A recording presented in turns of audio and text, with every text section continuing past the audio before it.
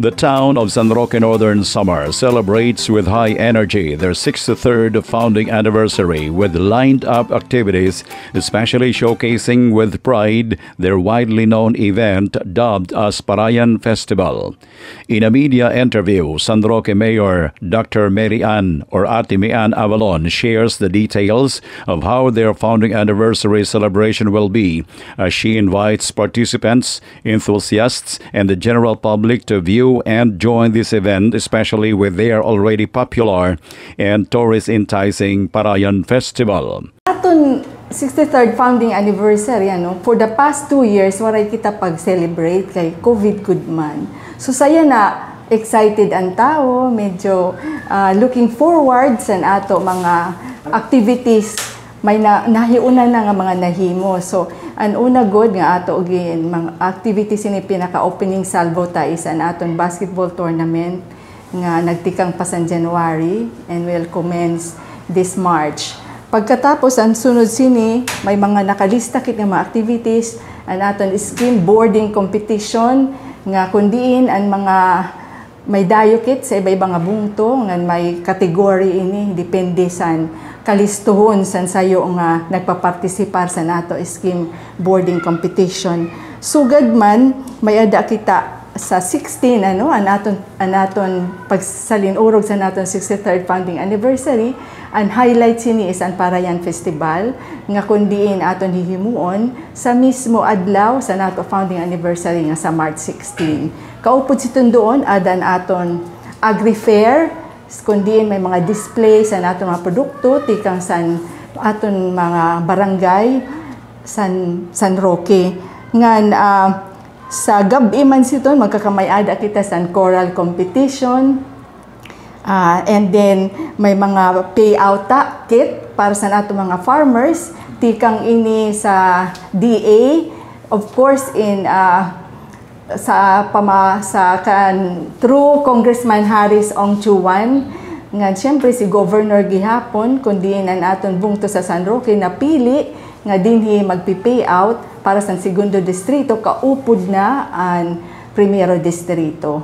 Ngan uh, la, lain la san payout san mga aton farmers ang isusugan nila nga RCEF ngan ARFA nga programa sa DA iton. May daghihapon kita mga payout AX from DSWD and aton UCT transfer sa uh, universal uh, cash transfer para sa naton mga uh, recipients ito niya programa sa DSWD. Mayor Mian Avalon also explains further about the medical mission which is a health program of 2nd District Congressman Harris Christopher Mendoza Ongchuan that is also part of the anniversary activities.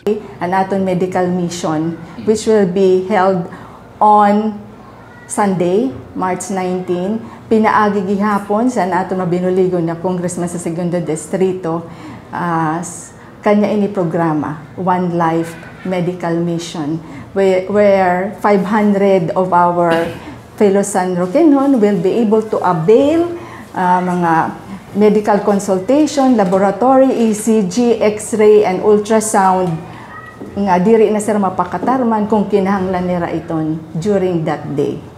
So, in short, maitong natananan aton mga activities for the 63rd founding anniversary sa naton bungto. Mayor Avalon clearly puts it that there are already 500 slots for possible patients to avail of the medical and health services. Ang 500 nga pasyente bali ato inigin uh, pasamwak sa bugos nga barangay san bungto kay mayaon maluat sugad sini si congressman sa ibang mga bungto sa segundo distrito. So ang schedule sa San San San Roque is sa Sunday which is March 19. So uh, may da na mga lista kung sino ang, maka, ang mga pasyente ang makada para iton nga adlaw, ito nga 500 patients uh, ma-accommodate good dayon. So kumbaga may pre-screening pangani kay kung halimbawa dito sun nga 500 kung depende kung nano ang kanira mga binabati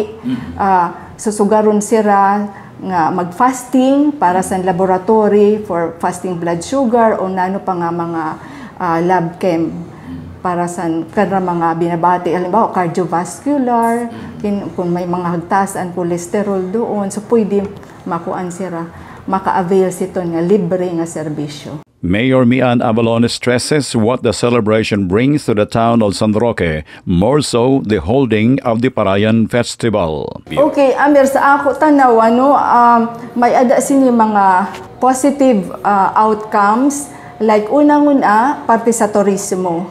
Laom ko nga magkakamay ada ini positibo nga epekto sa naton bungto nga makakabulig sa lokal nga ekonomiya sa San Roque sugad man parang mga livelihood na rin sa naton mga nanginginahanglan sa trabaho. Ikaduha, uh, para sa ipakita sa naton mga farmers, naton mga parag-uma, kung nano ka kuri ang pag-uma ngan kunano ang kanira kontribusyon dako nga kontribusyon sa aton komunidad parte sa pagsaparay ano nga nakaka nakakahatag gihapon uh, positive result parte sa ekonomiya, lokal nga pan ekonomiya. Ikatulo, para sa nato mga kabugtuan nga adto sa ibang lugar nga mabakasyon dihan.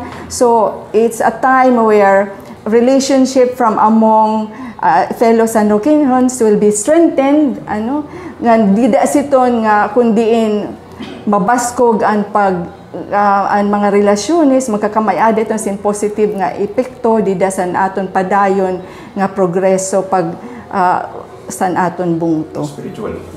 And of course, this is a reminder from all of us, ano, not just in San Roque, san nga tanan, nga ato mga blessings, nga natagamtaman san aton makagarahom nga Dios, nga at the same time, pagpaambit sito nga grasya nga aton mga nakarawat, ngadto sa naton kabugtuan, nga nanginginahanglan bulig labi na ang parte sa panlawas o financial man. The Lady Local Chief Executive assures the safety and security during the celebration through the presence of the law enforcement personnel and security multipliers. Ato man uh, ginsisiguro ano ang mga seguridad sa naton mga bisita pinaagi sa pag-coordinate with our uh, men in uniform, anaton uh, PNP, ngan uh, as far as kung halimbawa may mga panhitabo sa usad sa mga stampede stampede ada man an aton may may dagyapon kita medical team to take care of. Si, wala. Di taman ko ko niya may matabo ano pero uh, ada sira uh, abaga pa andam para kunano man ang mga uh, diri maupay nga panhitabo nga. Pero diri ta iton gin uh, ampo nga magkamay sin. Uh, oo di ba? So will always be positive nga uh, the the activity and the affair will go on peacefully smoothly and as San Roque Town highlights or peaks in their activities for the 63rd founding anniversary. Mayor Mian Abalon shares her message for all. Karuya ko muna bumati ano sin marayhak malipayon o puno sin grasya sa mga ikasiko San Roquenhon dida san aton pagsalin urog san aton 63rd founding anniversary. And to our visitor, welcome to San Roque ngan ah, hing, hangyo ko nga an padayon nga pagburublig ngan pagkasarayo magka san aton paglakawon uh, ma, maging manilampuson uh, sa padayon niya progreso sa aton bungto. Reporting for 97.3 Voice Radio, this is Amir Ortego.